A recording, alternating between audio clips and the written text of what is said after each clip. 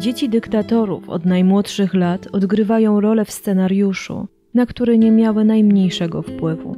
Scenariuszu, w którym bohaterami są ich ojcowie, pragnący kształtować świat według własnej, często przerażającej wizji. Niektóre z nich nigdy nie wyszły z cienia despotycznego rodzica, inne stały się jego uosobieniem. Są również takie, które ze wszystkich sił pragnęły zerwać więzy krwi. W dzisiejszym podcaście w skróconej wersji przedstawię relacje, jakie zachodziły między Saddamem Husajnem i jego synami, Udajem oraz Husajem. Nakreślę, dlaczego szczególnie jeden z synów wielkiego dyktatora był nazywany potworem, który przerósł swojego mistrza. Udaj Hussein był pierworodnym synem Sadama. Zarówno on, jak i jego młodszy o cztery lata brat poznali w dzieciństwie trzy oblicza ojca. Pierwsze oblicze to ojciec nieobecny, zajęty rolą rewolucjonisty, który pierwsze lata życia synów spędził w więzieniu. Już wtedy jego żona, a jednocześnie kuzynka Sajida, nie mogła poradzić sobie z kaprysami chłopców, którzy wykorzystywali i nadużywali ofiarowaną im dobroć oraz otaczające ich bogactwo. Dla Sadama ta sytuacja była naturalną. On sam, wychowywany przez wuja, nie pamiętał swojego ojca, a za prawdziwą rodzinę zawsze uważał partię Bas. Drugie oblicze to to, które tak często odwzorowywał przede wszystkim starszy z synów. Oblicze ojca tyrana, który zmuszał Udaja i Kusaja do obserwowania egzekucji, które miały miejsce w początkach jego panowania. Chłopcy często bawili się rozbrojonymi granatami. Pewnego razu Udaj zdradził dziennikarzowi, że naśladuje ojca w eliminowaniu swoich nieprzyjaciół. Nie był to jednak wymysł dziecięcej fantazji. Już w wieku 16 lat Udaj dopuścił się pierwszego morderstwa, zabijając swoją nauczycielkę. Trzecie oblicze to to, kreowane zarówno przez podległe media, jak i samego Husajna. Oblicze doskonałego ojca, uwielbianego przez synów. Ojca, który cierpiał i ryzykował dla dobra społeczeństwa własnym życiem. Ojca, który powtarzał synom, że są dumnymi wojownikami, gotowymi do stawiania czoła śmierci. Na zdjęciach wykonanych przez specjalnie powołanych do tego fotografów możemy dostrzec szczęśliwych chłopców jeżdżących konno, grających w tenisa, pływających w basenie, wyjeżdżających na wspólne wakacje nad brzeg Zatoki Perskiej. Jako dzieci synowie dyktatora korzystali z miejsc, które były dedykowane wyłącznie elitom Iraku. Saddam Hussein, ten, który marzył o tym, aby wychować dzieci w duchu własnych przekonań, szybko spotkał się z nieprzychylnymi komentarzami dotyczącymi jego synów, a w szczególności starszego Udaja, który jawił się jako psychopatyczny sadysta, porównywany do rzymskiego Kaliguli. Lekarz Sadama komentował: Udaj niszczył resztki zaufania do Sadama i jego ustroju. Rozmawiano o nim w całym kraju. Udaj nie znał granic. Kilkakrotnie musiałem leczyć przybywających z jego wieczorków gości, których zraniono nożem, przepalano papierosami albo poddano innemu złemu traktowaniu poprzedniej nocy. W domu Udaj nazywany był doktorem, ale tak naprawdę Wydział Medyczny w Bagdadzie ukończył tylko i wyłącznie dzięki władzy. Nie wyróżniał się szczególną bystrością. Kochał pieniądze i wystawne życie. Posiadał pięć tysięcy samochodów najdroższych marek, piwniczki na wino, ale również heroinę, harem oraz własne zoo z lwami, gepardami i niedźwiedziem. Starszy syn Sadama był postrzegany jako wyjątkowo okrutny człowiek, który w zapędach sadystycznych zaczął prześcigać własnego ojca. Z miłości do tortur przywrócił falakę, czyli narzędzie, które umożliwiało mu karanie współpracowników biciem w podeszwy stóp. Już w wieku 20 lat Udaj został prezesem Irackiego Komitetu Olimpijskiego oraz szefem Federacji Piłkarskiej. Swoją władzę szybko zaczął wykorzystywać, stosując tortury, które mrożą krew w żyłach. Mężczyzna zaczynał od gruźb, które wykrzykiwał w trakcie meczów. Mówił na przykład, że jeśli piłkarze w dalszym ciągu będą grali tak źle, obetnie im nogi i rzuci na pożarcie psom. Dla nich jednak nie były to wyłącznie groźby, ale plan, który w każdej chwili mógł się ziścić.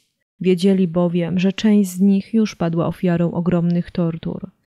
Zawodnicy byli na przykład zamykani w małej celi, w której przez dwie godziny musieli wykonywać pompki, a dodatkowo w trakcie byli chłostani kablami elektrycznymi. Udaj oddawał na piłkarzy mocz. Zlecał bicie ich po stopach, a kiedy sam nie mógł uczestniczyć w torturach, przysłuchiwał im się za pomocą telefonu. Doskonale wiedział, co dzieje się w drużynie, gdyż miał w niej własnych szpiegów. Tragiczne w skutkach decyzje mężczyzny były często podjęte pod wpływem drinków, najczęściej tych z ginu, szampana lub błyski. Alkohol doprowadzał Udaja do paranoi prześladowczej. W konsekwencji zaczął on korzystać z własnego sobowtóra, który był niegdyś jego kolegą z klasy. Początkowo znajomy nie chciał przyjąć tej roli, ale po nocy spędzonej w celi oraz groźbach skierowanych w kierunku jego siostry zmienił zdanie i już wkrótce zdecydował się na zabieg stomatologiczny, który miał sprawić, aby jego uśmiech przypominał ten, niezwykle słynny, nazywany uśmiechem szympansa. Udaj, wbrew oczekiwaniom Sadama, krzywdził również osoby z jego najbliższego otoczenia. W trakcie jednych ze świąt dopuścił się prawdziwej masakry. Wściekły i pijany, poważnie ranił byłego ministra, który był również jego wujkiem.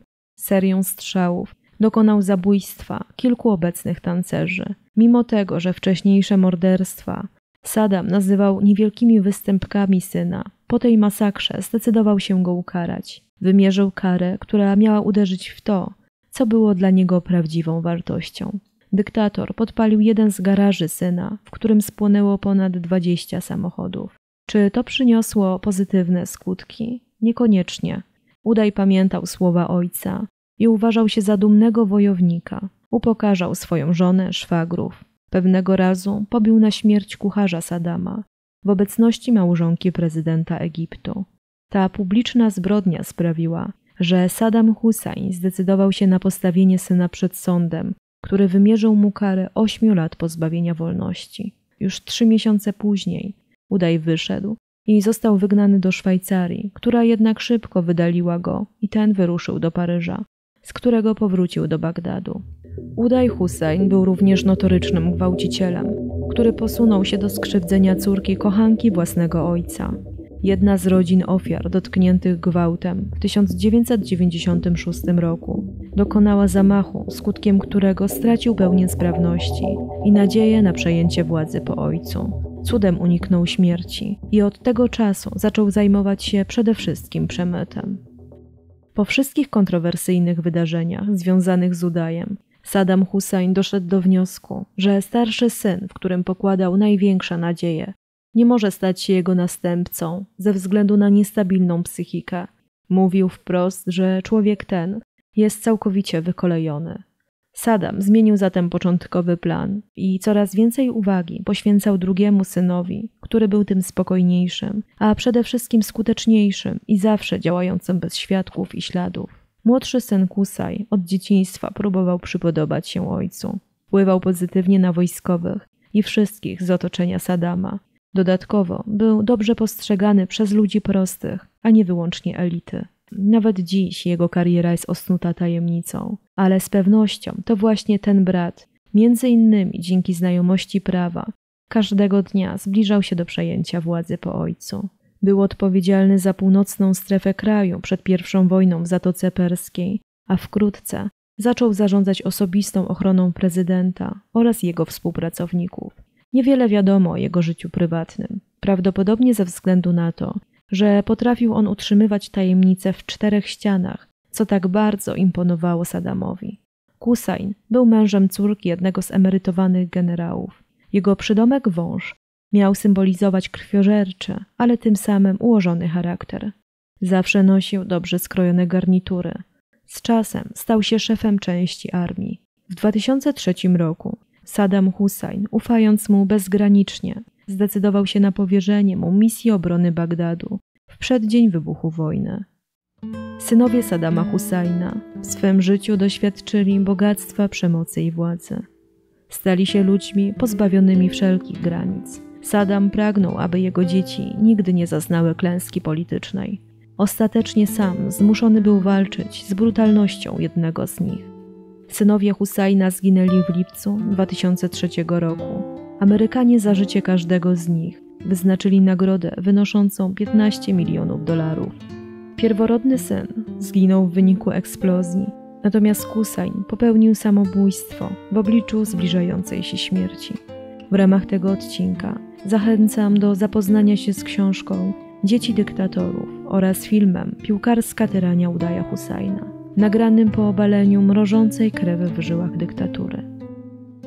Czy waszym zdaniem, biorąc pod uwagę metody wychowawcze stosowane przez Saddama Husajna, jego synowie mieli szansę postępować wbrew pajanym im zasadom? Czy ich życie mogło potoczyć się inaczej? Jeśli ku przestrodze chcielibyście zapoznać się z podcastem dotyczącym pełnej biografii Saddama Husajna lub materiałami dotyczącymi życia innych dzieci dyktatorów, dajcie znać w komentarzu. Dziękuję za Wasz poświęcony czas. Olga Widulińska.